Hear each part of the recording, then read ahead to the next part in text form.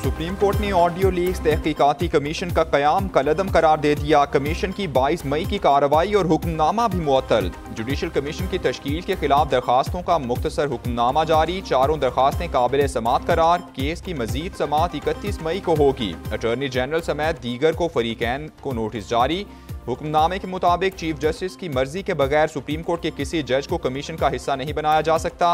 हुकूमत की जानब से कायम जुडिशल कमीशन की तश्कील मशकूक है। विफाकी हुकूमत ने जस्टिस काजी फजीसा की सरबराही में ऑडियो लीक्स की तहकीकात के लिए तीन रुकनी कमीशन तश्कील दिया था। नौ तारीख को हमारे अजीम शहदा को और गाजियों को इन जत्थों ने इमरान न्याजी के उकसाने पर दुश्नाम तराजी की और फौजी तनसीबात पर हमले किए, वो तारीख का एक स्याबाब था। नौ मई वाकयात की साजिश के ताने बाने समुंदर पार तक हैं। नौ मई को वो हो गया जो दुश्मन भी नहीं सोच सकता था। अलमनाक वाकयात पर काबीना के इतिहाद और इतफाक ने साजिश को नाकाम बनाया। वजी अजम शहबाज शरीफ का कराची को पानी फराहमी की स्कीम के फोर का संग बुनियाद रखने की तकरीब से खिताब। कहते हैं, नौ मई को हमारे अजीम शहदा की यादगारों पर इन जत्थों ने इमरान न्याजी की हिदायत पर हमले किए। हमें चोर चोर कहने वाला खुद करप्शन केस में आया तो कहा कायद आज़म का घर जला दो। मजीद कहा कि फोर मनसूबे की तकमील में कोई कोताही बर्दाश्त नहीं की जाएगी। सनतकारों और कारोबारी शख्सियात से गुफ्तु में बोले आई एम एफ़ की सारी शराइ सौ फ़ीसद पूरी कर दी हैं। तरक्की उस वक्त तक नहीं हो सकती जब तक मुआशी और सियासी इसकाम ना हो। इमरान खान, तुम्हारा खेल खत्म। नौ मई हमले का मकसद पाकिस्तान की फौज को झुकाना था। तुम्हें शर्म आनी चाहिए, डूब कर मर जाना चाहिए। मरियम नवाज़ की चेयरमैन पीटीआई पर कड़ी तनकीद। बिहाड़ी में मुस्लिम लीग नून के यूथ कन्वेंशन से खिताब में बोली, इन हमलों में इमरान खान अकेला नहीं था, सहूलतकार भी शामिल थे। मेरी मालूम हैं, ये फौज के खिलाफ बगावत है और सरगना इमरान खान है। 25 मई को लॉन्ग मार्च का मकसद आर्मी चीफ की तयनती रोकना था। इसने सोचा था, फौज पर हमला करूँगा तो बाजी पलट जाएगी। इसने बड़े जुल्म किए, लेकिन हम इंतकाम पर यकीन नहीं रखते।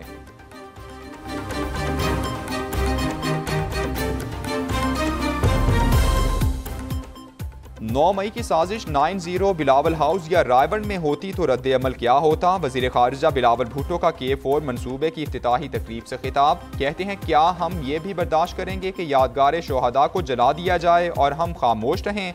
नौ मई के वाकयात को भूल जाएँ तो मुल्क चलाना मुश्किल ही नहीं, नामुमकिन हो जाएगा। एक पाकिस्तान है या दो पाकिस्तान, ये तारीख बताएगी।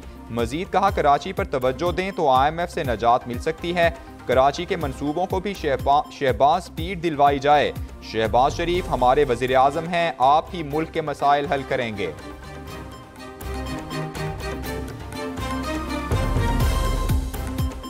चेयरमैन पीटीआई इमरान खान ने हुकूमत की मुआशी कारकर्दगी पर एक साल के आदाद शुमार जारी कर दिए कहते हैं, एक आदमी ने साजिश के ज़रिए हमारी हुकूमत को हटाया। साजिश के तहत वो करप्ट टोला दोबारा मुसलत करने का फैसला हुआ, जो तीन दिहाइयों से पाकिस्तान को लूट रहा था। पाकिस्तान की आवाम को इतना नुकसान कोई दुश्मन भी नहीं पहुँचा सकता जितना गुजशत एक साल में पी डी एम ने पहुँचाया है। ये हमारी तारीख का बदतरीन मुआशी कारकर्दगी का साल है। एक साल में पाकिस्तान में फ़ी का आमदनी ग्यारह आशारिया तीन आठ फ़ीसद कम हुई। तामीराती शोबे की तरक्की मनफी पाँच आशारिया पाँच तीन फ़ीसद रही। इसमें टॉक्सिक चीज़ें जिनमें शराब और कोकेन का बेदरेग इस्तेमाल। अब उसका तनासुब जब तक नहीं आता, हम किसी हतमी नतीजे पर नहीं जाएँगे, लेकिन इब्तदाई रिपोर्ट के मुताबिक, और ये खान साहब को खुद भी पता है। मेडिकल रिपोर्ट के मुताबिक इमरान खान शराब और कोकेन का इस्तेमाल करते हैं। विफाकी हुकूमत ने चेयरमैन पीटीआई की मेडिकल रिपोर्ट मीडिया के सामने पेश कर दी। विफाकी वज़ीर सेहत अब्दुल कादिर पटेल कहते हैं, इमरान खान पाँच से छः माह पलस्तर लगाकर घूमते रहे, लेकिन किसी फ्रैक्चर का मेडिकल रिपोर्ट में ज़िक्र नहीं है। रिपोर्ट में यह भी कहा गया है कि इमरान खान की जहनी हालत पर सवालिया निशान है। उनकी हरकत सकनात फिट आदमी की नहीं थी। इसी शख्स को डैम वाले जज ने सादिक और अमीन करार दिया था। कौम से अपील है, अपने बच्चों को इमरान खान के हवाले ना करें।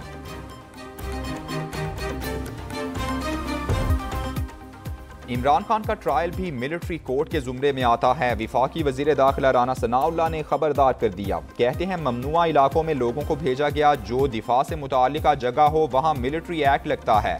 पंजाब में 19 और खैबर पख्तूनखा में से 14 मुलजिमान को मिलिट्री हुकाम के हवाले किया गया। मुल्क भर में मजमू तौर पर चार सौ निन्यानवे मुकदमा दर्ज किए गए। इमरान खान फितने का नाम है, मुल्क को किसी सानहे से दो चार करेगा।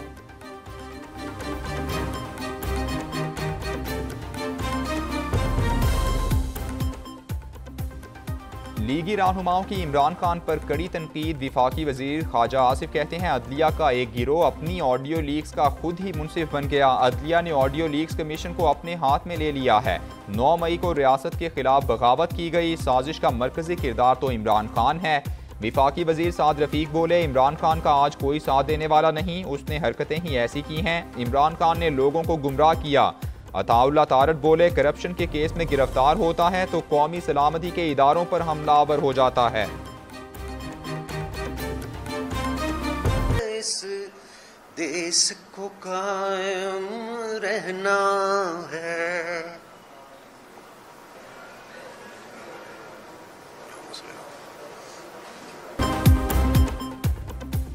तहरीक इंसाफ की विकटों की झड़ी लग गई। कई अहम रहनुमाओं ने इमरान खान का साथ छोड़ दिया। अबरारुल हक, फिरदौस आशिक अवान का पीटीआई छोड़ने का ऐलान। सैफुल्ला न्याजी और खैबर पख्तूनखा के सबक मुशीर जेल खाना जात मलिक कासिम खान ने भी पीटीआई को खैरबाद कह दिया। सबक M P A Rabia Azfar और शेख खुरम शहजाद ने भी इमरान खान का साथ छोड़ दिया। पंजाब के सबक वज़ीर तालीम मुराद राज ने भी पी टी आई से राहें जुदा कर लीं। मुराद राज पी टी आई से अलहदगी का ऐलान करते हुए रो पड़े। कहते हैं 9 मई की पीटीआई की तशद ज़दा सियासत को नहीं मानते।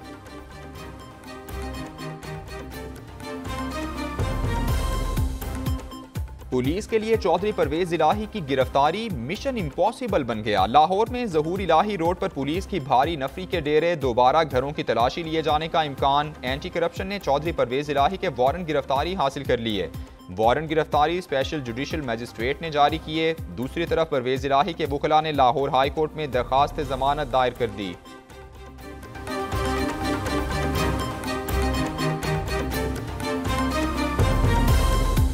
पुलिस का पीटीआई रहनुमाओं के खिलाफ शिकंजा सख्त, मुल्तान में सबक रुकन कौमी असम्बली मलिक आमिर डोगर गिरफ़्तार। पुलिस ने पीटीआई रहनुमा को शेर शाह इंटरचेंज के करीब से पकड़ा। आमिर डोगर खानेवाल से जमानत के बाद प्रेस कॉन्फ्रेंस के बहाने फरार हुए थे। उन पर 9 मई को मुजाहरा करने के इल्ज़ाम में दो मुकदमा दर्ज हैं।